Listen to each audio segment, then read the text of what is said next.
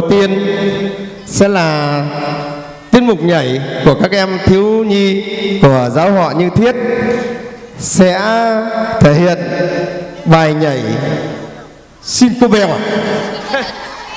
rồi ông già noel nhất trí.